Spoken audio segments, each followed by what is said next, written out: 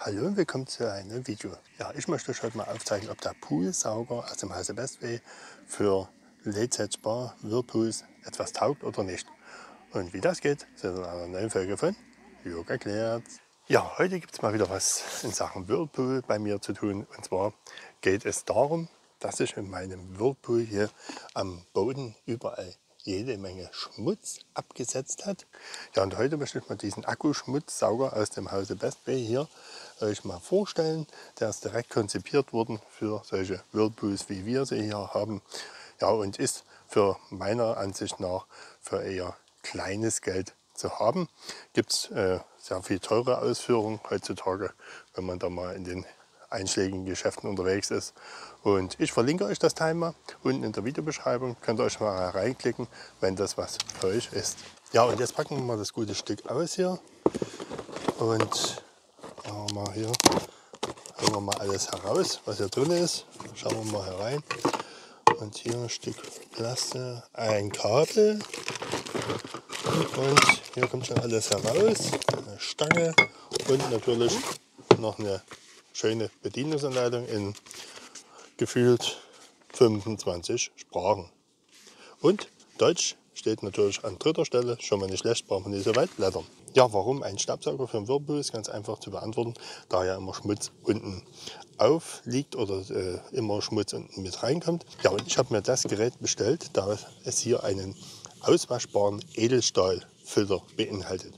Und was natürlich auch schön ist, das Gerät verfügt über eine Akkufunktion und hat eine Laufzeit von ca. 30 Minuten, wenn das Teil voll geladen ist. Und wir bauen das Teil jetzt mal hier zusammen. Das geht hier rucki zucki. Ja, und als erstes nehmen wir hier mal unseren Filtereinsatz, den schieben wir einfach hier herein. Geht ganz einfach und setzen hier diesen Aufsatz auf. Bajonettverschluss einmal rumgeklackt und fest sitzt das Teil. Anschließend können wir jetzt hier vorne unsere Düse aufsetzen und die Düse hat hier unten auch schon ein paar Bürsten, dass man hier unten auf dem äh, Whirlpool auf dem Boden dann auch ein bisschen sauber bürsten kann mit und natürlich schöne Räder, dass er hier schön fährt und unseren Whirlpool nicht beschädigt. Und die Randkanten sind hier aus verhärtetem Gummi oder also gummiartig ausgelegt, damit wir hier unseren Whirlpool wirklich nicht beschädigen. Ja, und als nächstes tun wir natürlich hier unseren Aufsatz einfach aufschieben.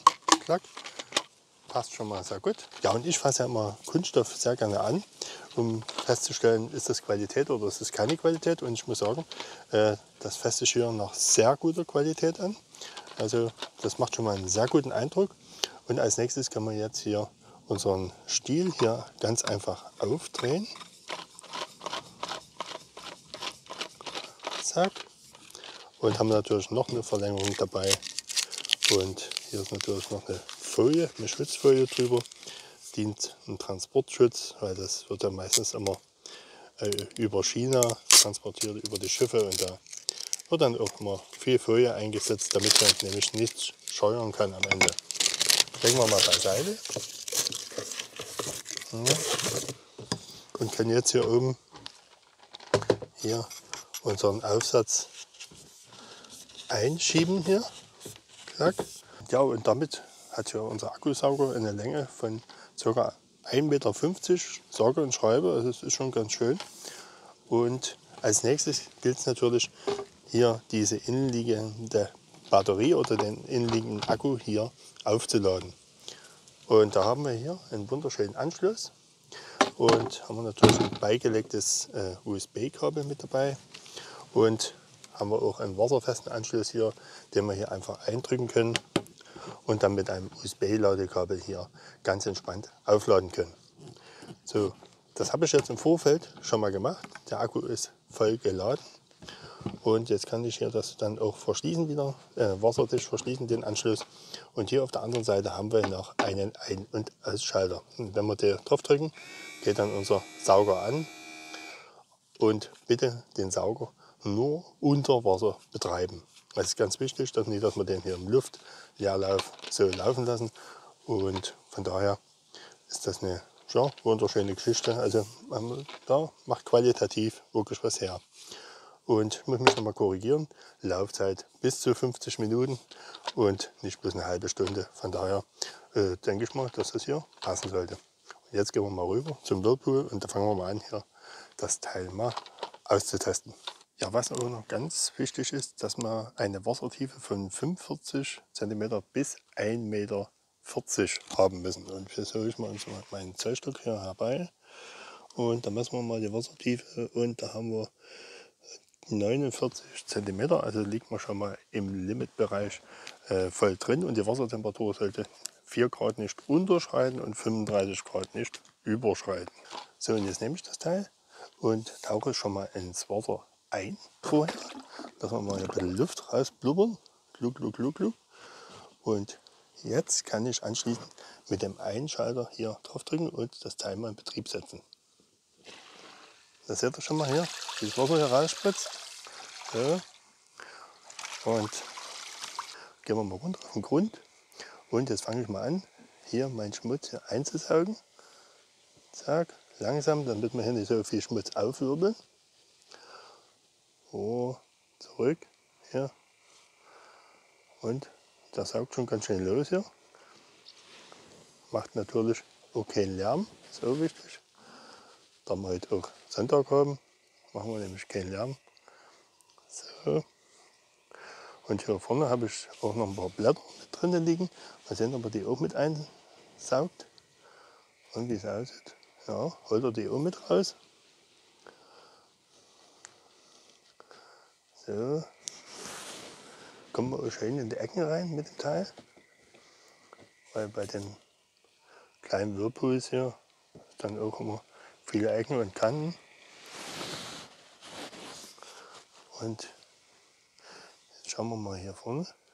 Also ihr müsst das Teil langsam bewegen, denn sonst tut er natürlich den ganzen Schmutz aufwirbeln unten. Und das ist die Sinn und Zweck der Sache hier. Ganz einfach. So. Brauchen wir natürlich ein bisschen Zeit. Aber das Teil holt hier den Dreck raus. Staune selber. Also, muss man sagen, für das Geld spielt das Ding klasse her. Also, so.